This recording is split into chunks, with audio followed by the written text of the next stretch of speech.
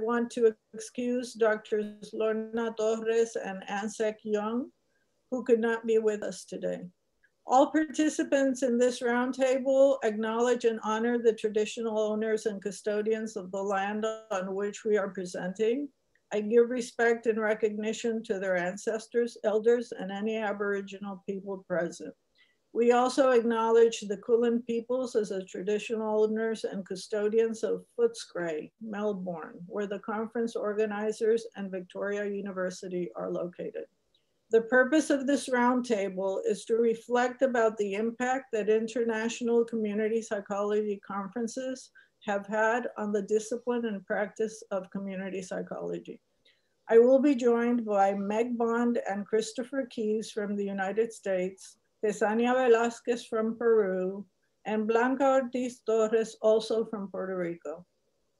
The roundtable will start with a brief presentation of the results of a content analysis Dr. Torres and I carried out of the programs of the previous international conferences. When I finish, my colleagues will present their reactions to the information I presented, and given time limitations, we will answer your questions and receive your comments. So let me begin by sharing my presentation.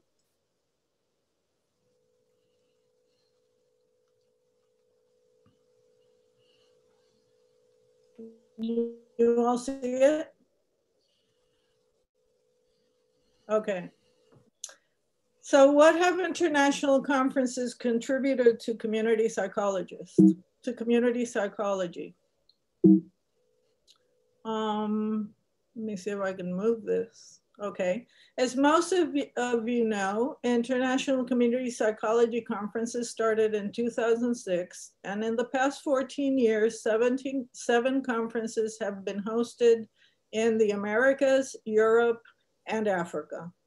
The conferences are not organized by any particular entity. Um, they are in fact um, mobilized by the energy and interests of community psychologists. As you can see in this table, participants in the conferences increased steadily uh, up to the Africa conference in which, although there was a smaller number of participants, larger number, and again increased for the, the conference previous to this one in Chile. The Americas, including the Caribbean, Europe, and Australia have had participants from all conferences. Participants from Asian countries have attended five conferences, and three conferences have had participants from Africa.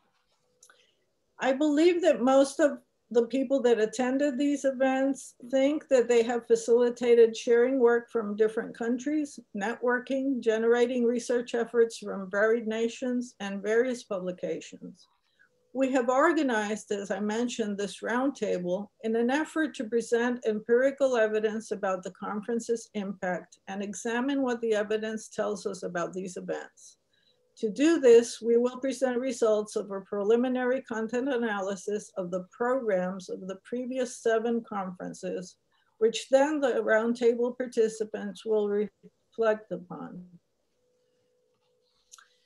We carried out, Dr. Torres and I, a, a, content analysis of the programs of the previous conferences, and in some cases had to use compilations of abstracts to complement the programs that we uh, obtained.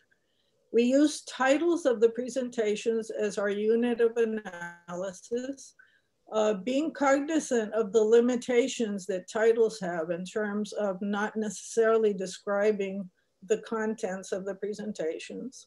Each one of us analyzed three and a half conferences and in total 4,711 presentations in three languages. We encountered various difficulties. As I mentioned, there were incomplete programs. Some of the titles were not only not necessarily descriptive, but also hard to understand or were confusing. Different terms were used for the same phenomena according to the different countries or even within the same language. One example that I like to use is the example of empowerment. Which has at least three terms in Spanish, empoderamiento, fortalecimiento, and apoderamiento. And we were also faced with our limited knowledge of Portuguese, particularly when analyzing the programs from Brazil and Portugal. Overall, the effort was much more time consuming than we anticipated. As a result, we developed the following categories, theories and concepts, research methods, interventions, populations of concern, education and training, and a miscellaneous category for presentations that did not fit the previous categories.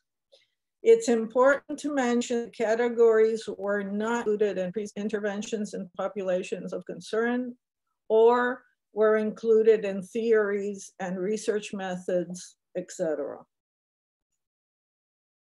When we examine the results of data across all categories, by far the category with more titles was theories and concepts, followed by populations and interventions, and the least mentioned were research methods and education and training.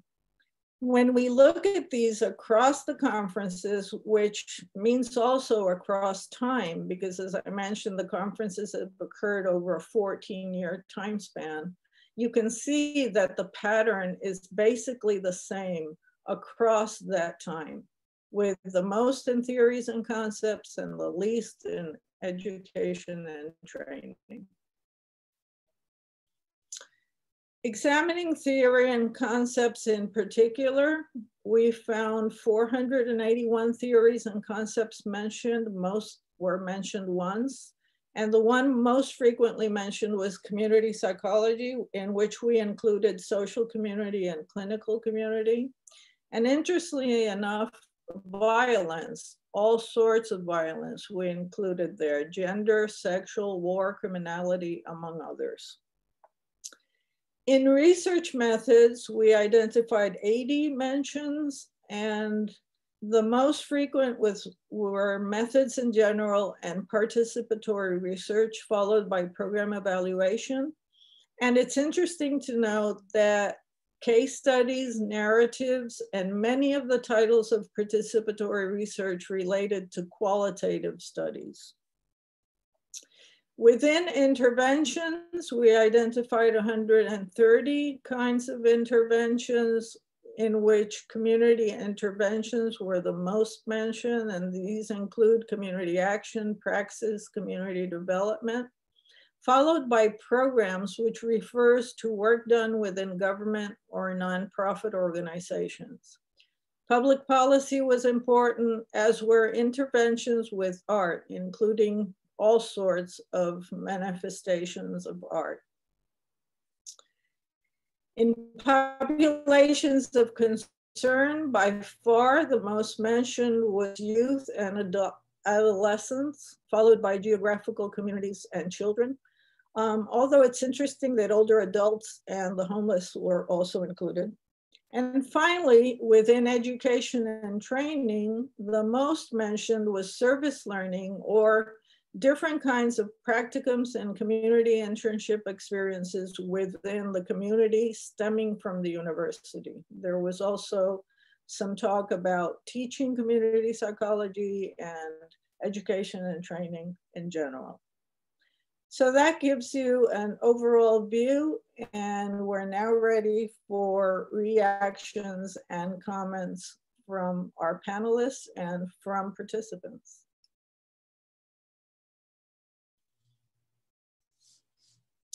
We're going to start now with Tesania Velasquez um, from Peru. You can go ahead, Tesania, when you're ready. Thank you for the presentation of Irma and Lorna. I have to give the first reaction to this important work. The results present get us to some very interesting thoughts. In my case, I will focus on two outcomes. On one hand, I will be addressing the issues of violence and its growing interest from community psychology. On the other hand, I will be talking about community psychology training and its presence in the conference. Finally, I will make a comment from my experience and participation in the conference as a Peruvian community psychologist. The violence issue. It's a subject that community psychologists investigators have been focusing on the last years. In general, violence, its multiple manifestation and the response of, of community psychology to its effects have always been investigated but right now, the focus is on the concept of violence, which is being problematized and theoretically updated. We think that the presence of post-conflict and post-disaster context in our countries requires us to place at the center of community reflections and practice the issue of violence. Both contexts imply a disruptive situation that impact on community relationships that causes an effect on the social environment and a reduction on people's possibility of trusting on a healthy coexistence. Nowadays, violence is not only expressed as a structural and social issue, but is present in people's daily relationship. As a result, gender, sexual orientation, age, and other categories are necessary variables for our analysis.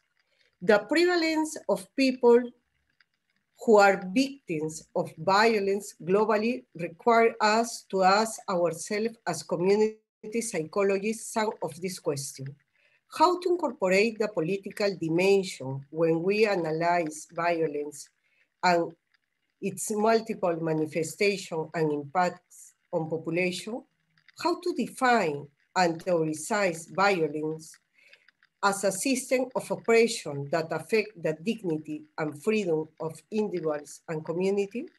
What is community psychology's contribution in the understanding of violence beside our help in minimizing the harm caused by violence. The community psychology training. This subject, it started to become more visible in recent conference. These issues with the development of different community psychology programs at university and we have observed in more in Latin America. However, this topic is not only discussed in the formal field of university, but also in other areas with community actors. We have seen different presentation with an emphasis on the need to critically reflect on the teaching learning process of future community psychology professionals. We believe that this aspect has developed in response to an economic and social context where education becomes a service not always of quality and loses its right character in a context of adverse policies and economies is a challenge to work from the ethical and political position of community psychology that's why it is critical to rethink our knowledge on community psychology training. Reality requires to have professional and disciplinary tools that lead us to social transformation at the global level. But these tools should also allow us to get closer to the people with whom we wish to work to improve their resources and capacities and should help us to look at our reality based on the uh, awareness of right, inclusion, and participation too. For that reason, the most reflective and investigated aspect in community psychology training are based on the dialogue between theory and practice, where the ethical aspect of field work play a fundamental role. As we know, Community psychology focus on psychosocial conditions that individuals, families, and communities experience understanding community as an active agent and not a receptive one. For that reason, community psychology training requires us to understand and take action on our realities, knowing people's necessities, especially of people in vulnerable situations, and to explain them in the classroom. For example, how to train people to work the lockdown context that doesn't allow physical contact. In addition, the Red Latinoamericana de Formación en Psicología Comunitaria emerged 10 years ago. At last year's conference, this group has been having meetings. The aim is to sustain a dialogue and knowledge construction space about community psychology training. Following that line, they publish research about ethics on this kind of training and the labor of community psychology in many countries of the region.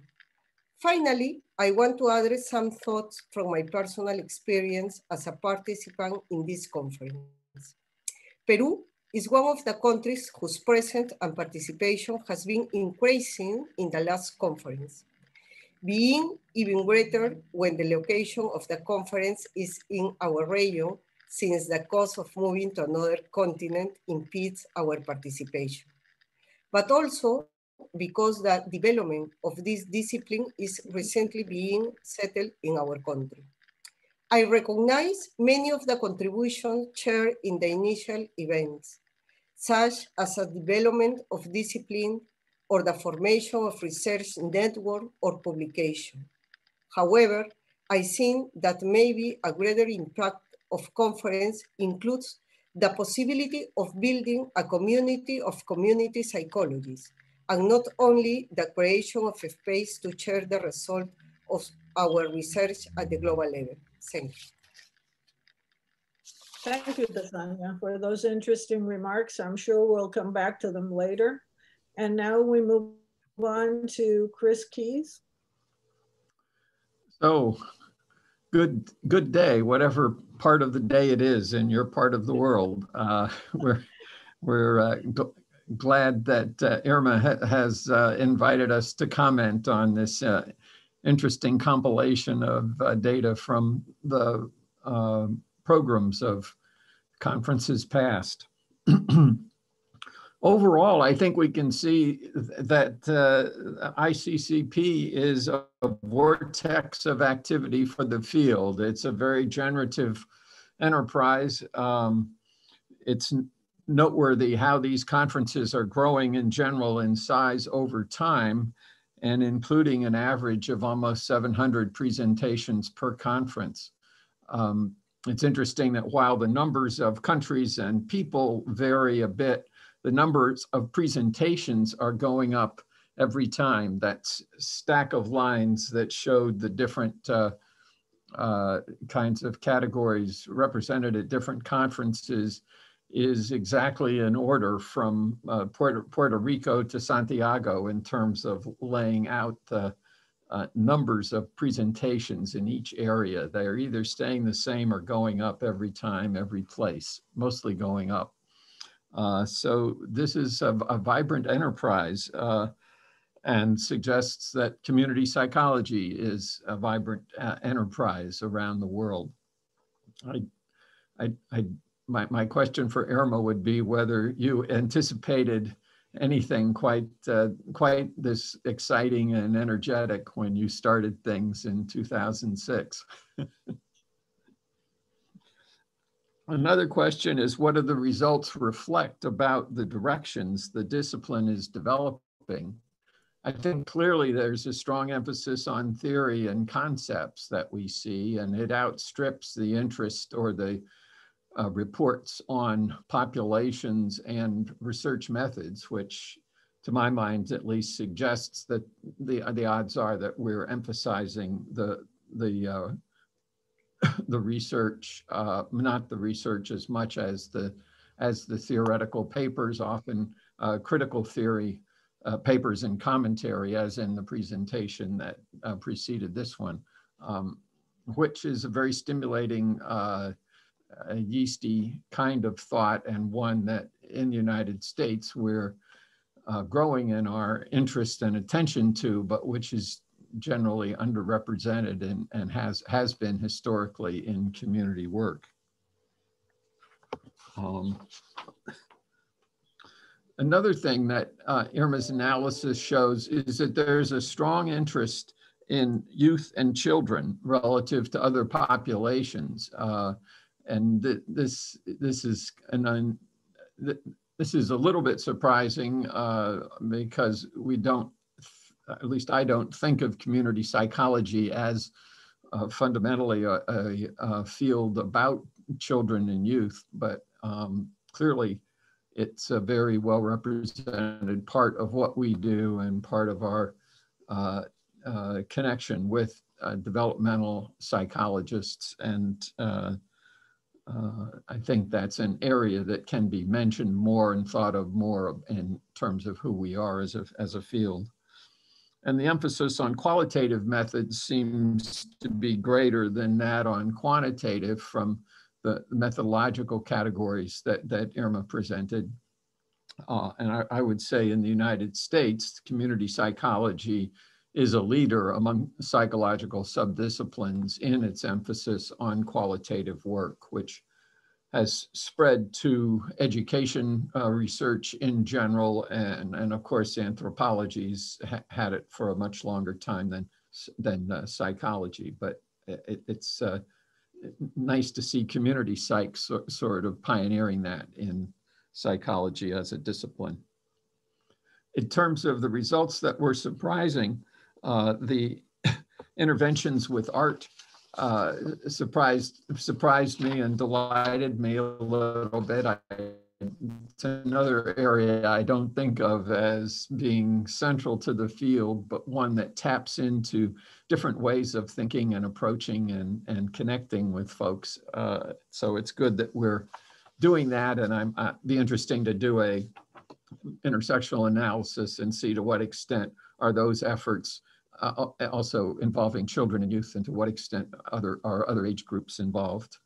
Um, and as a, a, a, person with mostly uh, gray hair, at least the hair that remains, uh, I was happy to see adults as a older adults as a category, also another group that uh, I think we don't usually think of as community psychology material, uh, but we should. So uh, uh, yeah, friends of mine say that topic is very interesting to them and gets more so every day.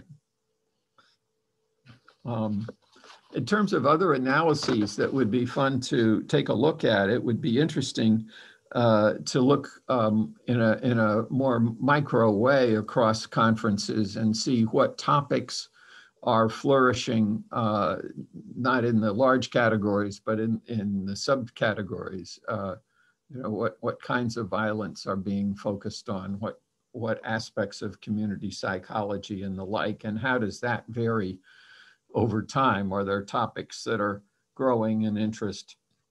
Any topics that are uh, getting reduced interest over time?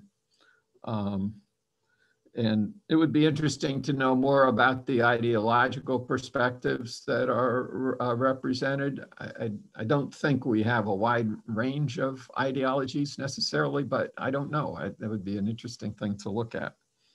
Uh, and it would also be interesting to look in terms of what kind of community psychology is going on in, in different countries and different continents. Uh, if, if we sorted out the presentations uh, by the, the home uh, of the of the presenter. And I can keep going, uh, unfortunately, or better for better or worse. Uh, but the trends in the handbook, uh, it'll be interesting to know know there whether the trends that uh, we, we found in looking at the handbook chapters are similar or different from those that that uh, are evident here in in the conference. So I just want to underscore uh, Tesania's uh, point about building a community of community psychologists and I think helping us connect, helping us be uh, be critical uh, and, and uh, helping energize us and, and connecting us with this worldwide enterprise is a, is a you know wonderful things we can get from ICCP. Uh, so I, hope we'll look for ways to to do that in between conferences as well as during them. And I want to thank Irma and Blanca and others for uh, initiating this effort uh, at the University of Puerto Rico in 2006 and helping it to be sustained over time. Uh, while there's no organization that runs the ICCP meetings, uh, the secret and important reality is that Irma is an organization all by herself, and she uh, has played a role in just about every single one of these in terms of helping them uh, develop and draw on the wisdom from previous conferences. So thank you very much. Thank you, Chris. Um, and just to answer very briefly your question about did we anticipate this? No. In fact, we decided not to call the conference in Puerto Rico the first conference because we weren't sure there was going to be a second one. and so we were very pleasantly surprised when they continued to, to flourish. Okay, um, having said that, our next um, discussant will be Blanca Ortiz Torres, also from Puerto Rico. Please, Blanca.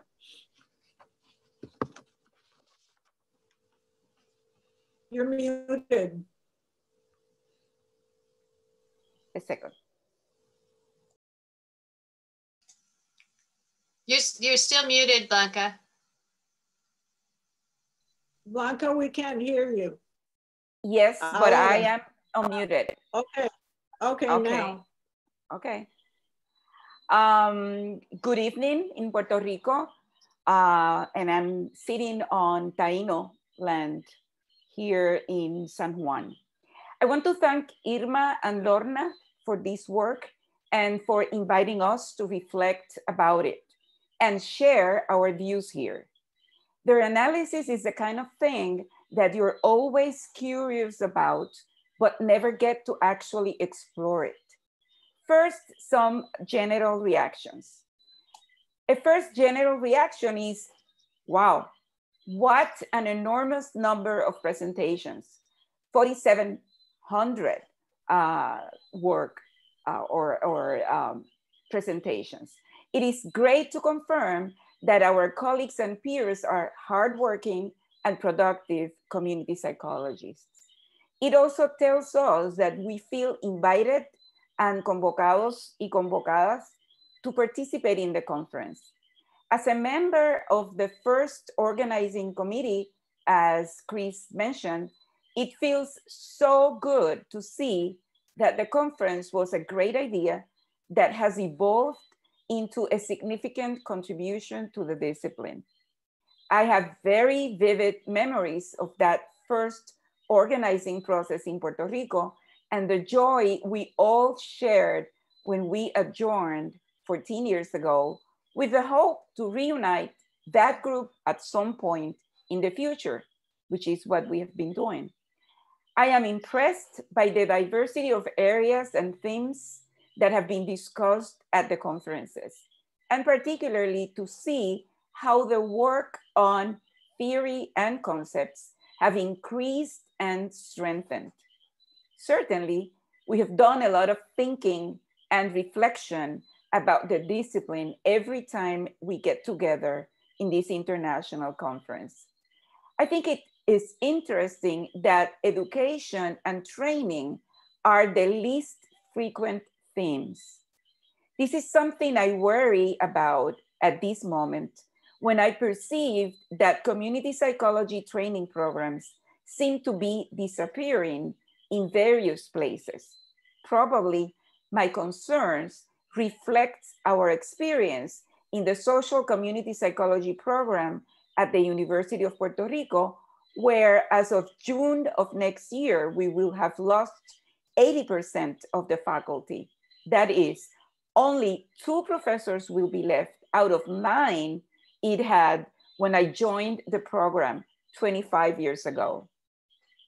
Although I was surprised to see that the area of violence is the second most presented and discussed, I was also happy to see the wide variety of contexts and manifestations of violence included in this domain.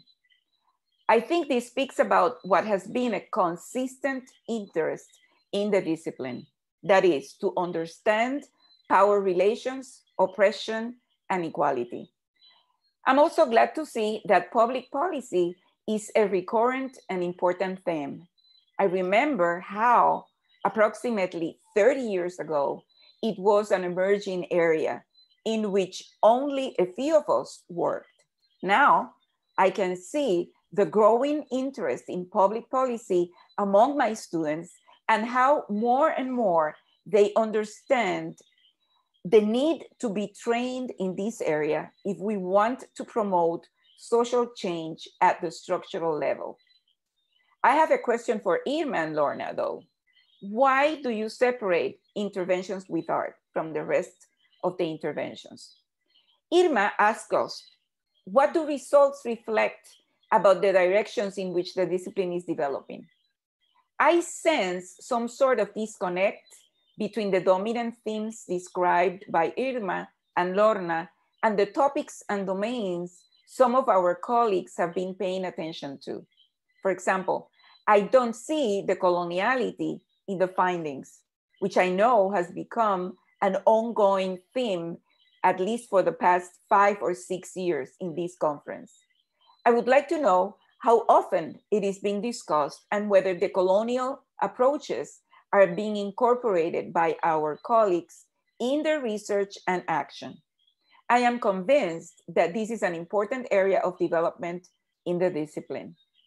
I would also like to see if there has been a growing interest in non-traditional ways of gathering and conversing within the conference. This is, has the structure and organization of the conference changed?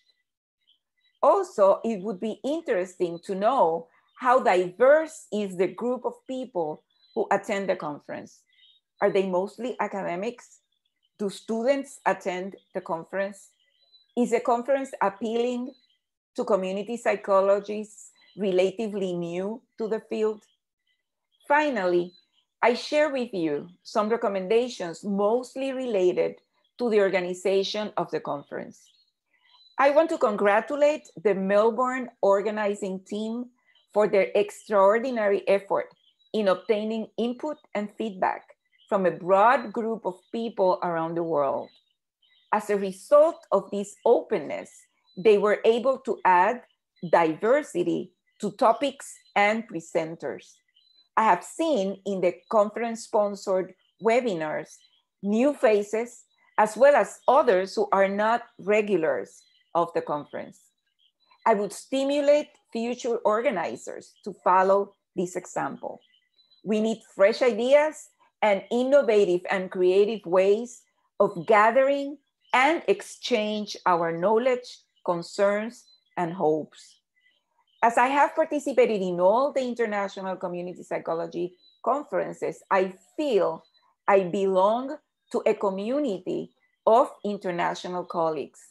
I can say that I have met the majority of my community psychology fellows at these conferences. I miss them between conferences, keep in touch with many of them through the year, and have developed effective links with a good number of them. This is, we are now friends. While facing the gradual disappearance of the discipline in Puerto Rico, at least in the academia, Attending the International Community Psychology Conference gives me energy and hope to keep working and thriving for empowerment and social change.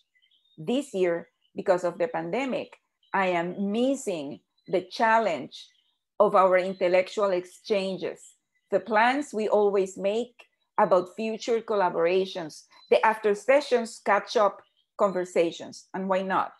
Our evening outings to share a drink and have a more personal contact. We're living very challenging moments around the world, and it's not only because of the pandemic, that impeded our gathering in Melbourne. But I am sure we are contributing to the fight against the pandemic in our countries. I hope to see you soon. Be safe and be healthy. Thank you. Thank you, Blanca. And now um, for uh, our last panelist, Meg. Well, hello everyone. It's it's always challenging to go last because other people have raised such such fabulous points and observations. But let me also add my thanks to Irma and Lorna for this fascinating analysis. And I have to say this process of self-reflection is so central to our roles as community psychologists. That is taking time to reflect on whether our work is truly syntonic with our frameworks and values is central to who we are. So I congratulate them on um, the massive but, but and extremely thoughtful analysis. Similar to others, um, taken as a whole, I think the results are make it clear that these international conferences are vibrant contexts for our field. Um, as mentioned by others, I was impressed by the extent of coverage of theories. Um, I think that that these conferences are really stretching the analytic grounding of the field and are an important countering to the dominance of perspectives from the global north. I think that's an incredible um, contribution to, to our field as a whole. The participation across continents, including so many diverse voices in our discussions, is, is truly dynamic and, and enriching for our field. And the breadth of methods, the emphasis on qualitative methods, is also an important catalyst for the field. And as, as others have noted, I love seeing that so many sessions are about the use of arts in promoting social justice, and it'd be fun to explore that a little bit further. It's also clear that the potential of these conferences goes beyond session titles. So I have some comments that invite additional reflections. Um, some of these questions can and some cannot be addressed through the current data. These, my follow-on um, questions and reflections are going to revolve around three issues. And they're very much related to, to Tesania's comment about building a community of community psychologists, Chris's endorsement of the value of similar ideas, and Blanca's comments about both the structure of the conference and the valuing of friendships that have grown out of these conferences. So my comments focus a little bit more internally to the conference process. I'm going to refer to these three themes and issues. First one is crosstalk, the second one is serendipity, and the third one is collaboration. By crosstalk, I want to refer to the dynamic where one comment can transform another, where exchanges that produce new ideas and insights, exchanges that truly alter our thinking and produce new approaches and new knowledge along these lines, I was struck by Irma's comment um, toward the beginning of her, her um, presentation about there being different terms for similar and overlapping approaches and phenomena of focus. Large, some language related, some um, country of origin. But this was labeled as a challenge, and I can imagine it certainly was made it very hard to identify cross-cutting themes. But I also, my reaction was also that this divergent is potentially an exciting resource for the field. You know, if we engage in crosstalk, that means we're engaging with one another across these differences and hopefully enriching all of our, our ways of thinking. The, some of the questions for further pondering that are related to this theme of crosstalk um, are related to what, what is really happening in the conference setting. So we know that, that conference organizers strongly encourage and require that sessions include participants from multiple countries. But I'm curious how many sessions really end up crossing borders? And when they do, are we fully realizing the potential for the kind of talk and exchanges that transform our ideas? In other words, how often do the exchanges within sessions really embody dialogue versus parallel play? And can we explore what forces might facilitate um, furthering this kind of dynamic crosstalk at our conferences? the last two plenaries at this conference, there was a lot of fascinating crosstalk. They made space at the end of the, the, the um, panels for that. But I wonder, how, does that happen in other sessions and across other conference settings? So the second theme that I wanted to comment on, um, I'm referring to as serendipity. It's become one of my favorite words these days, but it's the opportunity for connections, ideas, etc., to emerge without planning. and the reason why I've been thinking about it a lot lately is this word really feels particularly important at this moment because it, for me, it summarizes the essence of something critical that we've lost in the pandemic. We rarely just bump into one another. We rarely have chance encounters.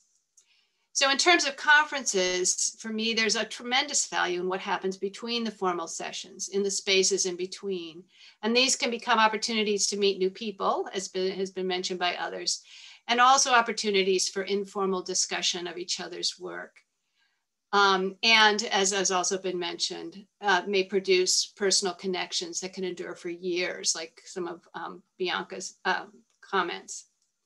So for further assessment of the impact of the conference related to serendipity, it would be great to explore um, whether the opportunities that have been um, structured to enhance serendipity are actually realized.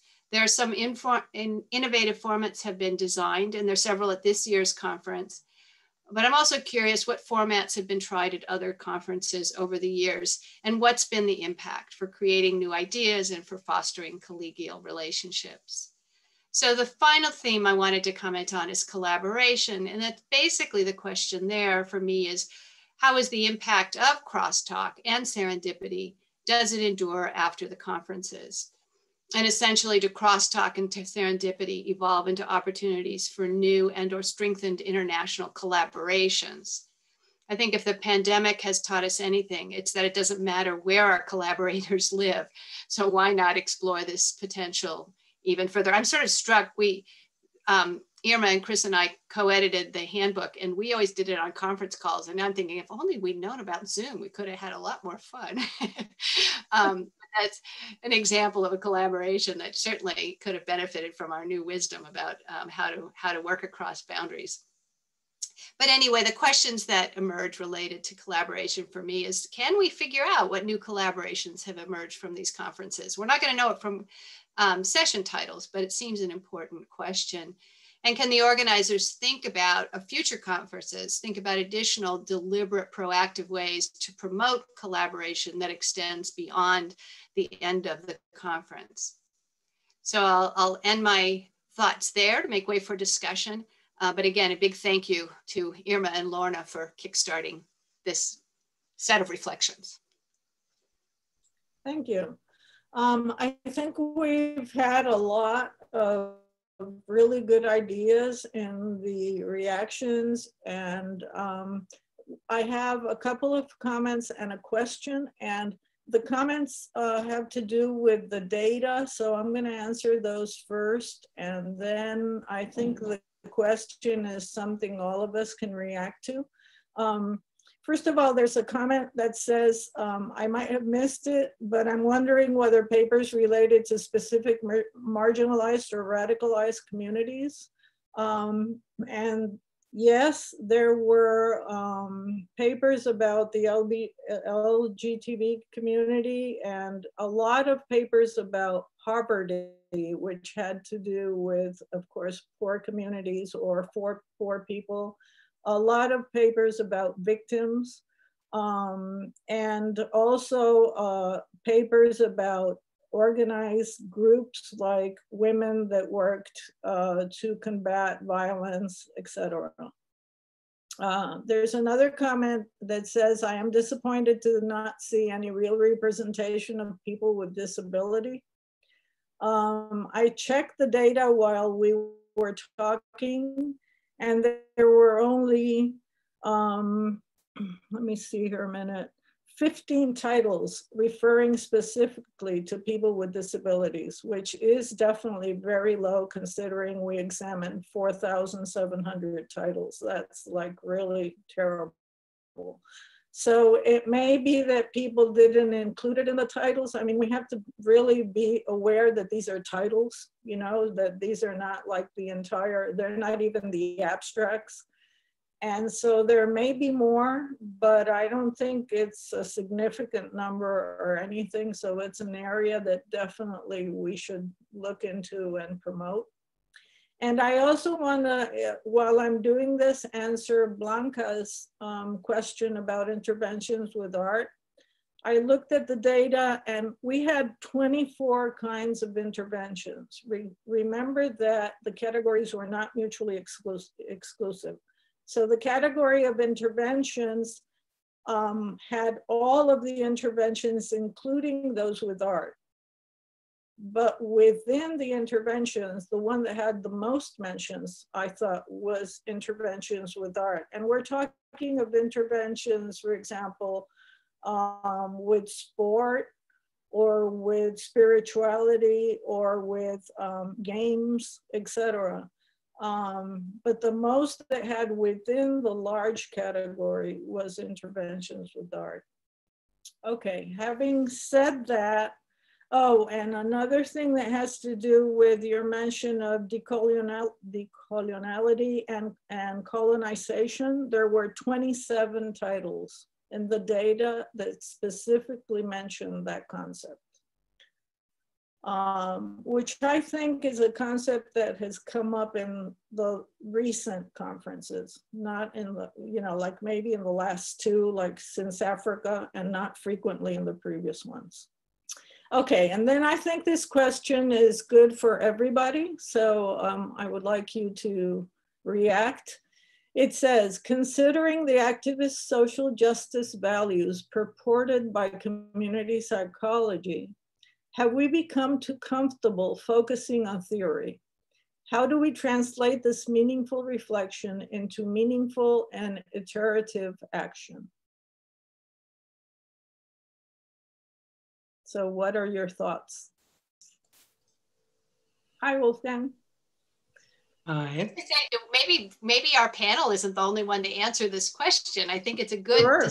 question to get input from everyone because I think it is striking how many of the the conference sessions talked about um, theory and even the the discussant on the the plenary that we just talked about, she, she commented on how some of the papers were very, very theory heavy and a, and a couple of them that she commended were ones that talked about putting some of this theory into action.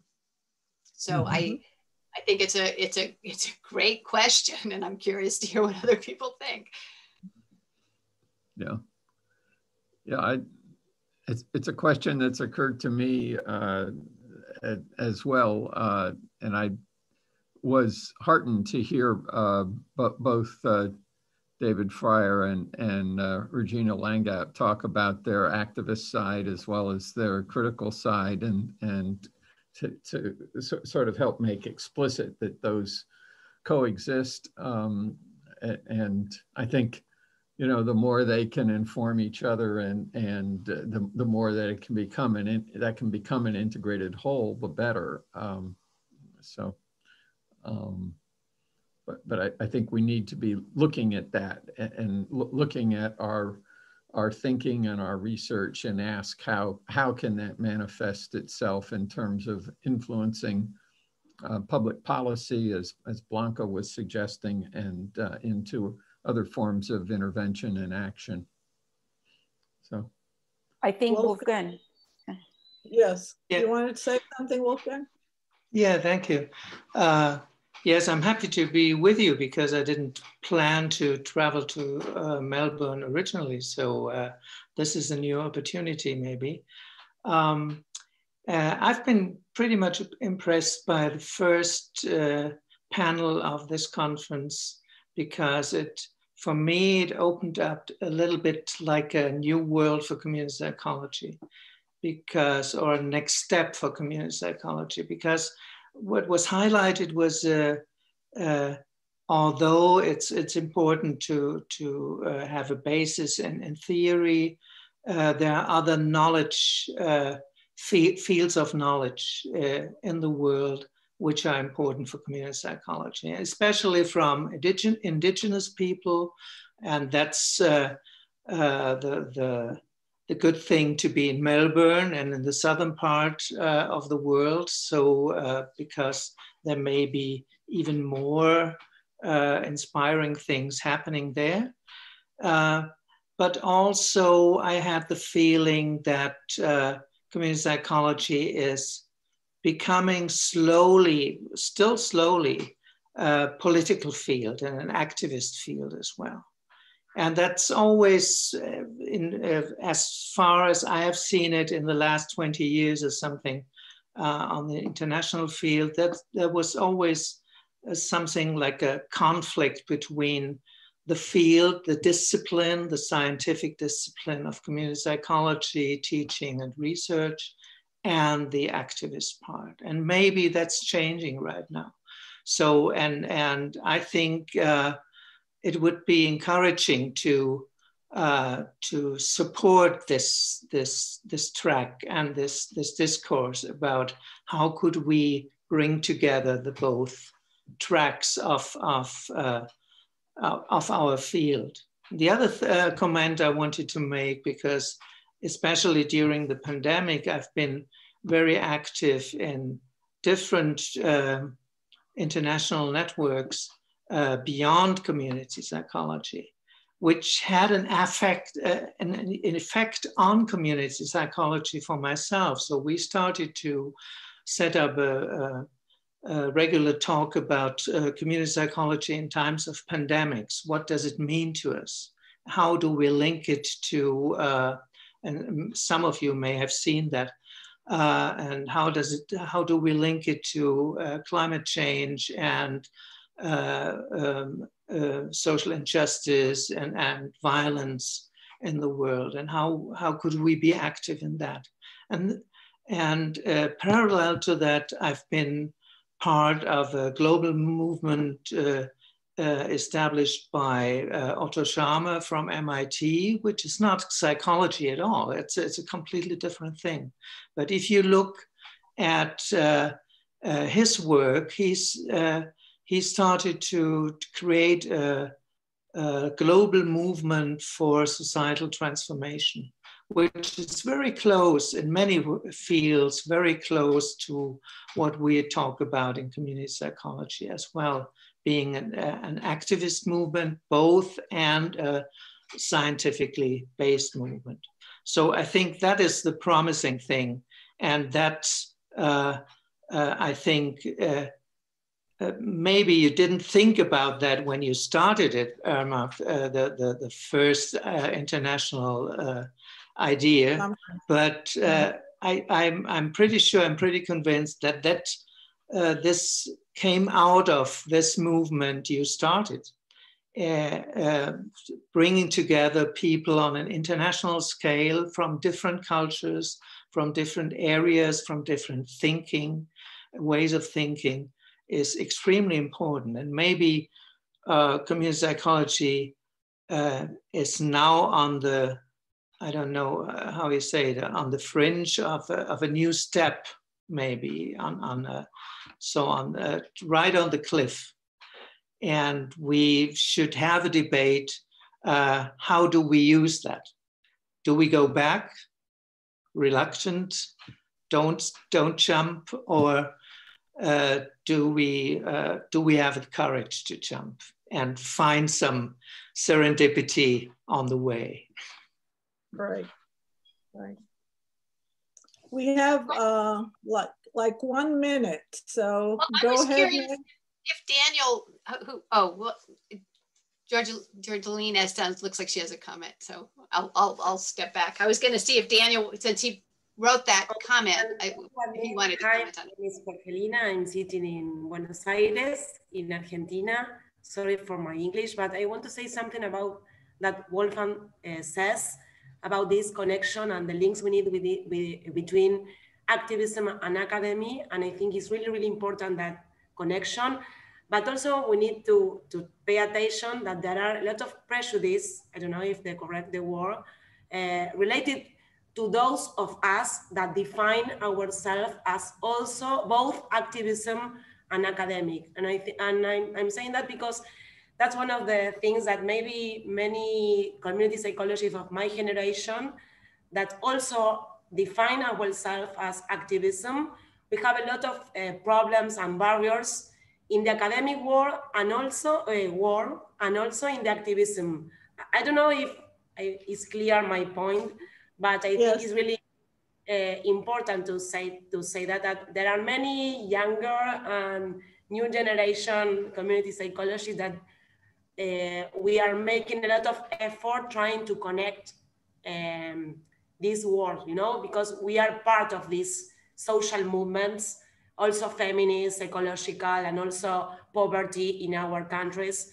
And I think it's, it's really important to, to, to put this in the discussion in the Congress, in the conference, in the academic world. Thank you for the, and it's a great, it's really great to see you. it's great to see you too. Thank you all for coming. Our time is up.